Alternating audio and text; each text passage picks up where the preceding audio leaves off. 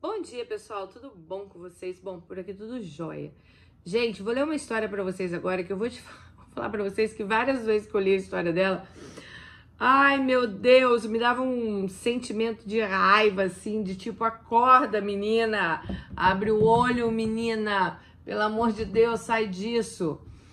E para vocês terem esse mesmo sentimento que eu tive, eu vou ler para vocês também. Mas esperamos que com o vídeo, com os comentários de vocês, a nossa Alice consiga sair desse relacionamento que para mim, bom, vamos lá. Ela fala que conheceu nosso canal há dois anos, através de indicação do YouTube, e que ela é espectadora assídua. Há 11 anos eu conheci meu atual marido, éramos amigos.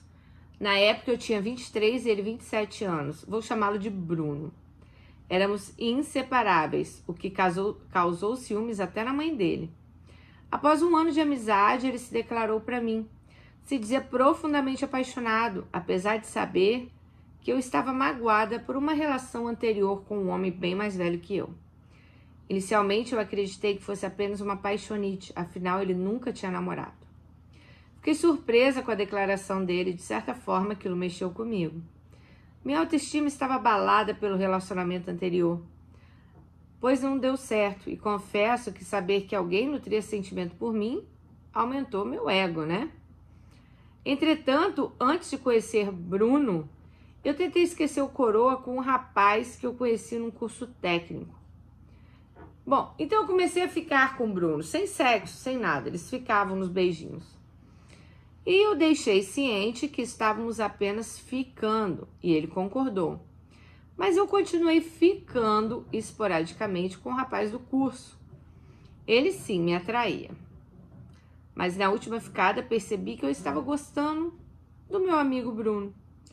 E por culpa acabei contando a Bruno que eu tinha ficado com esse outro rapaz.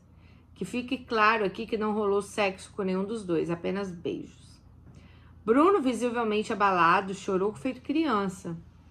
E ali eu percebi que ele realmente gostava de mim, me senti mal. Mas tentei explicar que ele aceitou que só ficássemos. E ele me acusou de tentar traí-lo. Tentei convencê-lo que aquilo não foi uma traição, né? Pois eu tinha descoberto ali também que eu estava gostando dele. Então ela decidiu que estava gostando de Bruno, ok, né? Ele se mostrava bastante infantil em alguns momentos e me sufocava, me sufocava com acusações e cobranças. Após dois anos, já como namorados, Bruno me traiu. Foi em 2012, eu ia fazer o Enem. Combinamos que ele me encontraria na saída do local das provas. Acontece que quando terminei o exame, liguei no, no meu celular. Havia duas mensagens dele dizendo que ele sairia mais tarde do trabalho e que a bateria do celular dele estava acabando. Meu sexto sentido é muito aguçado e eu percebi que tinha algo estranho ali.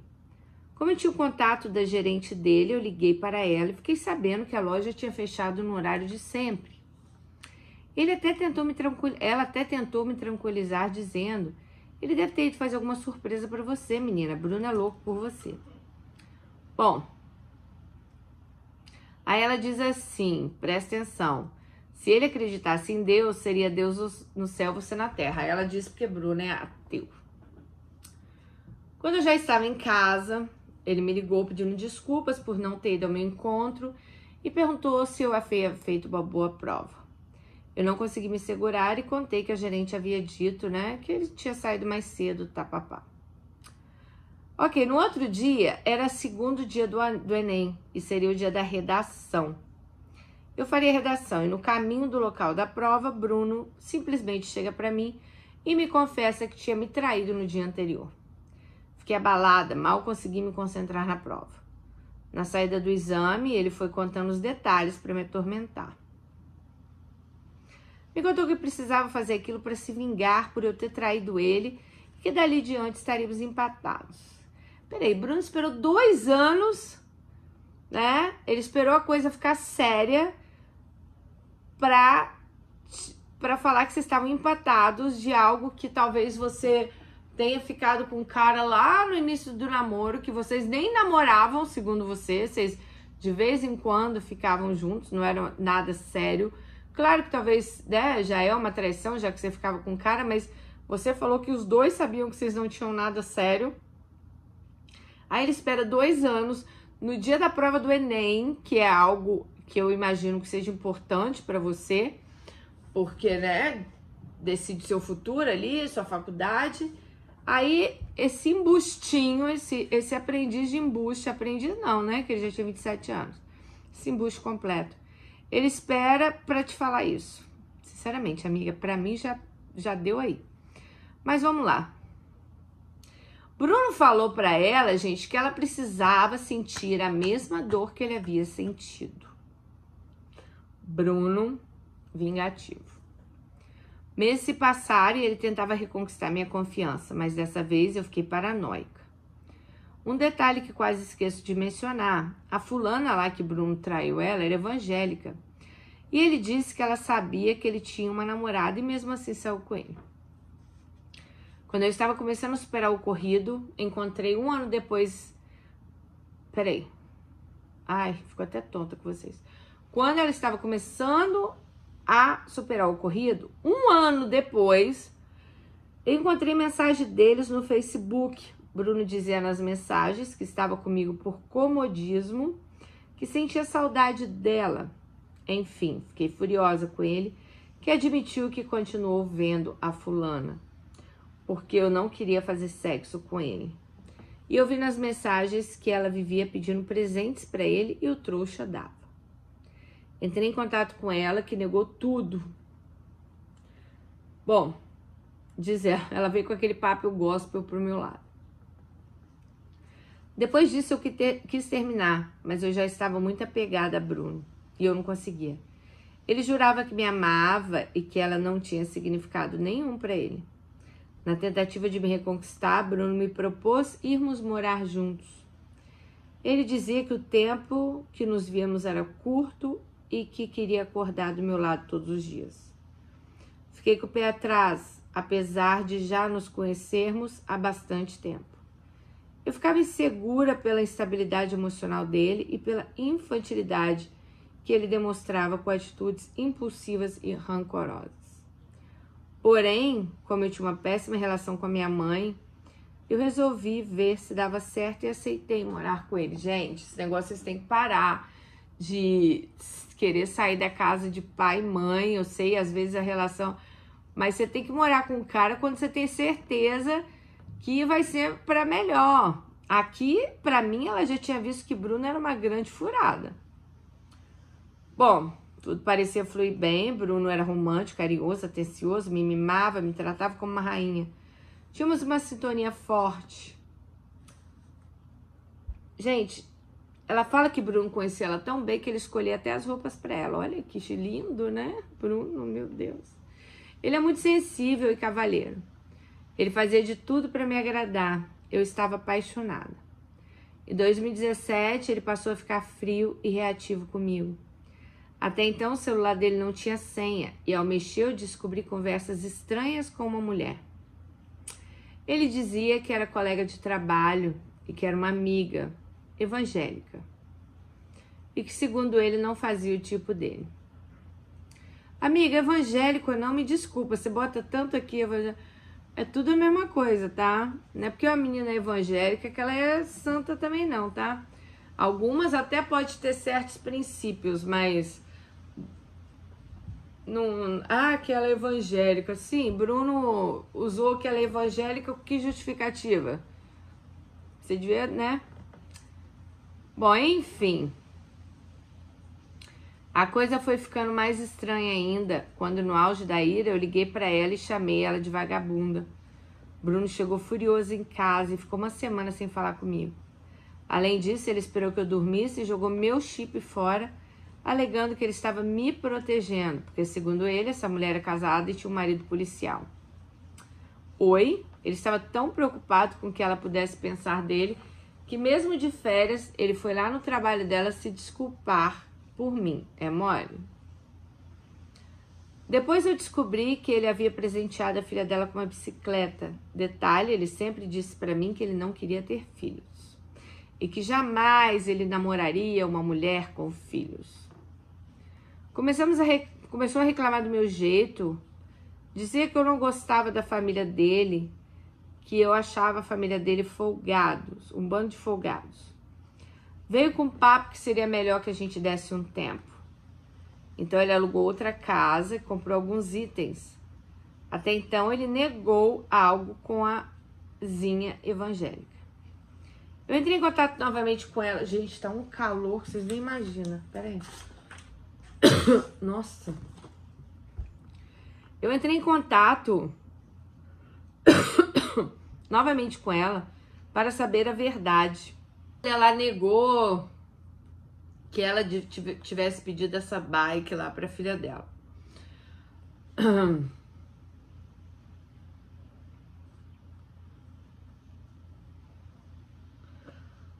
Bom, ela prometeu terminar a amizade com Bruno e assim o fez.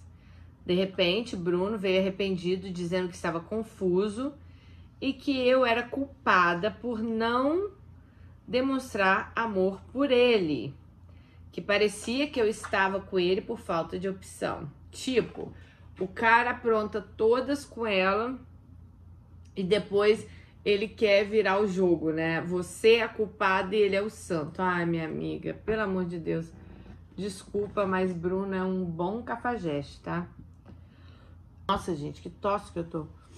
Bom, até que eles mudaram para casa que o Bruno tinha alugado quando ele pediu um tempo, lembra? E eles se mudaram para casa que o Bruno tinha alugado, aquela época que ele pediu um tempo para ela, né? A casa era bem pequena. Foi quando a mãe dele, gente, foi fazer uma cirurgia e passou 13, 13 dias na casa deles.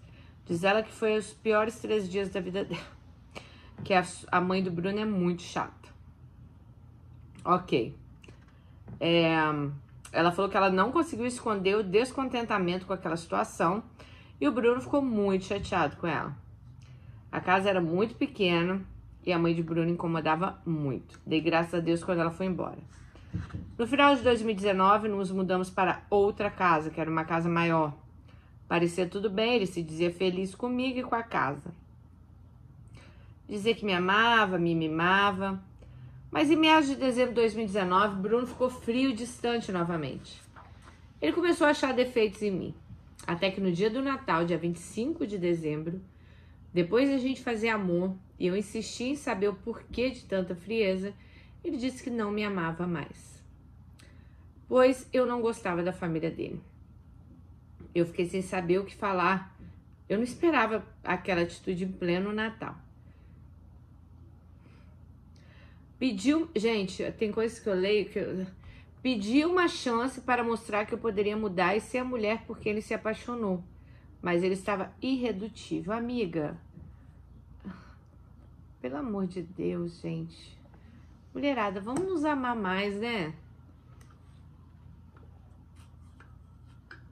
Depois de tudo que Bruno aprontou com você, você estava pedindo uma chance para mostrar a ele que você poderia mudar? Ok. Foi o pior Natal da minha vida. Ficou um clima pesado. Ele não queria nem que eu me aproximasse dele. Na semana seguinte, ele avisou que ia visitar a mãe dele. No sábado, ele avisou que ia vê-la de novo. Resumindo, ele estava tendo um caso com a fulana e usou a mãe como desculpa. Dias depois, me confessou que havia me traído e que estava gostando de outra mulher e que ele queria se separar. Eu fiquei em choque e entendi ali alguns comportamentos de Bruno. Bruno confessou que estava frio e distante porque se sentia mal pelo que estava fazendo comigo. Eu senti a terra se abrir. Senti dor no meu estômago. Fiquei em choque. Depois eu só chorava. Aquilo parecia um pesadelo. Dias atrás, aquele homem dizia me amar e estava me traindo como a qualquer. Entrei numa profunda depressão. Ele não saiu de casa que só aumentava minha dor, porque ele passou a dormir fora e voltar como se nada estivesse acontecido. A vaca passou a ligar para ele quando sabia que ele estava em casa, e toda vez que ele atendia, eu ficava furiosa. Amiga, quem te deve respeito é Bruno. A mulher, ok, ela sabia que Bruno era casado, mas ela a vaca aqui gosta. Vocês têm que parar de passar a mão na cabeça do marido de vocês e achar que é a outra lá que é culpada. A outra sim, uma sem vergonha. Agora você sabe lá o que, que o Bruno tava falando para ela? Talvez falou que tava separado de você, que você não, não tinha. Vocês não sabem, gente. Para de passar a mão na cabeça desses homens. A mulher o? Mas quem te deve respeito é o seu marido. Bruno mora com você, entendeu? Bom, numa dessas vezes eu gritei, xinguei, né? Bati nele, até ele pedir para parar porque ele estava com dor de estômago. Nessa mesma noite tivemos uma briga feia, ele me humilhou de todas as formas. Jogou na cara todos os presentes que tinha me dado. Disse que tudo que tinha na casa era dele, que ele tinha nota fiscal. E se eu quisesse dormir, eu teria que dormir no chão.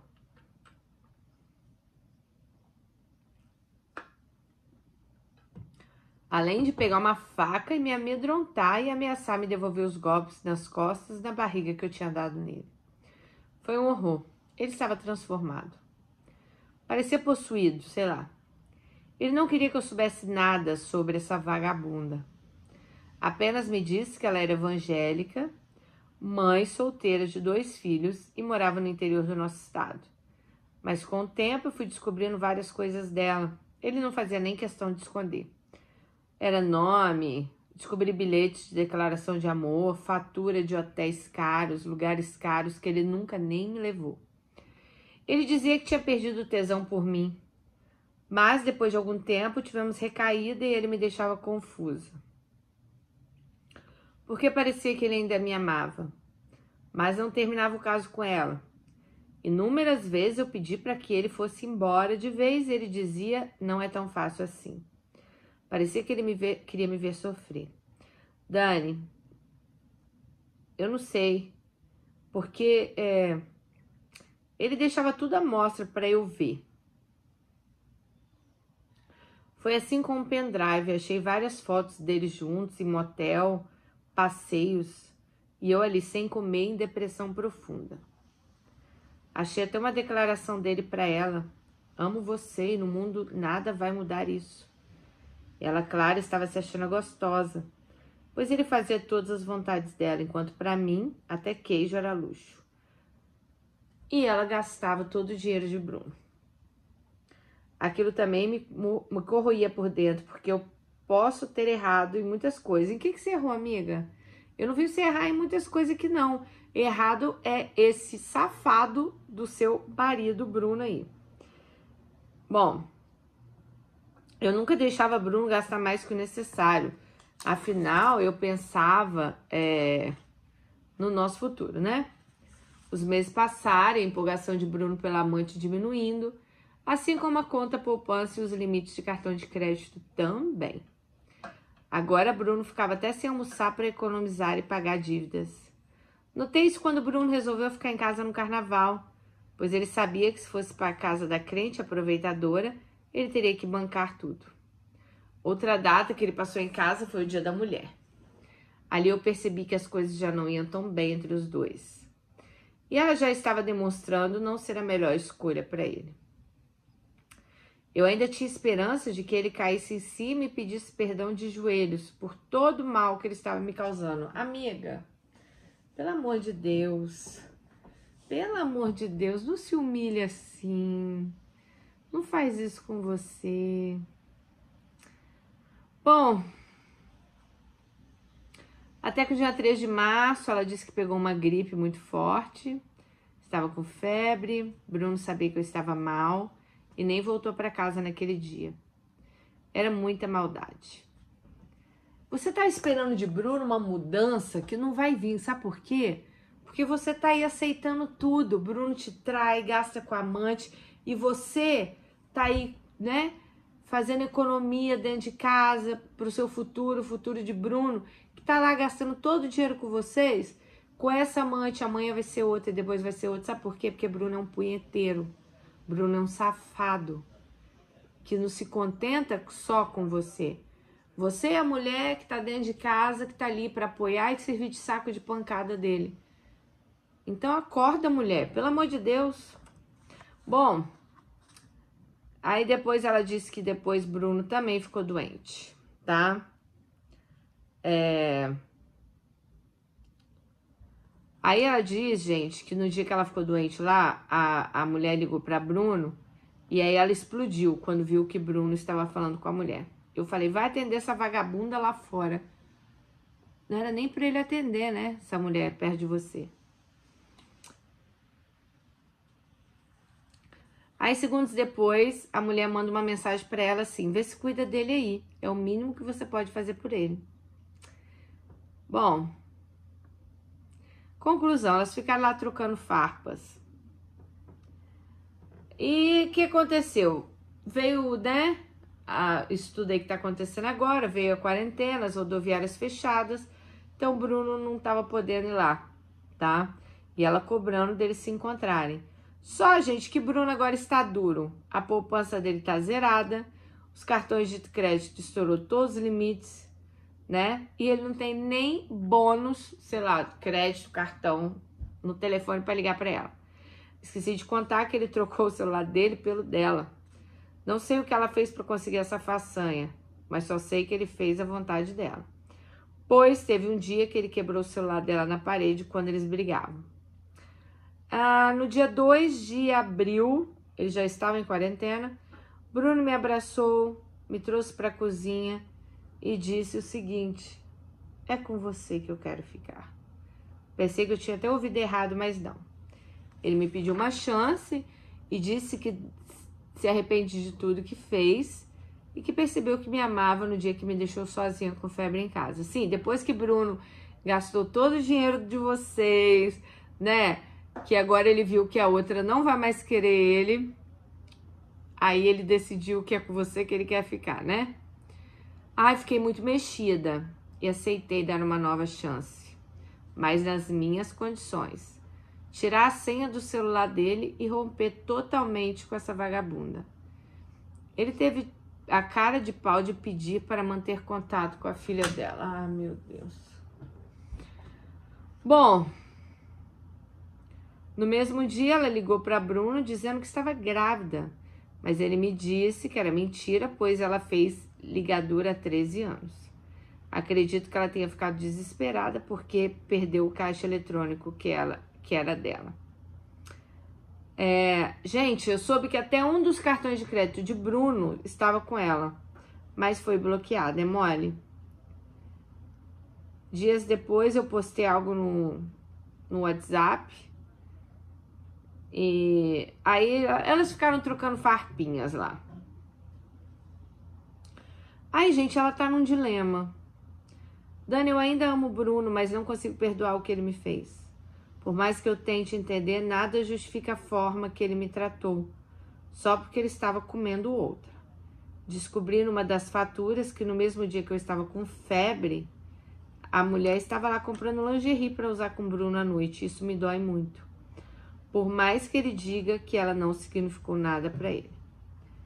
Se ela não fosse importante, ele não teria feito todas as vontades dela, né? Coisas que comigo ele nunca nem fez. Ele nunca me levou para lugares especiais, nunca me levou para restaurantes, né? É, sempre comigo ele tinha que economizar, mas com ela ele não mediu esforços. Agora ele está todo endividado, com a poupança quase zero, salário reduzido devido à suspensão de contrato de trabalho por conta da situação de hoje. Ela mandou agora esse e-mail, tá, gente? Agora eu voltei a ser mulher da vida dele. Sei que a lei do retorno vai agir na vida dele, mas não sei se consigo perdoar.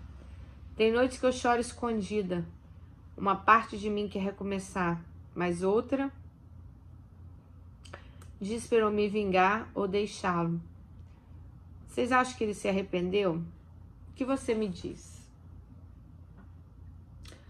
Olha, amiga, Alice, ela pediu para ser chamada de Brenda, mas vou chamar você de Alice.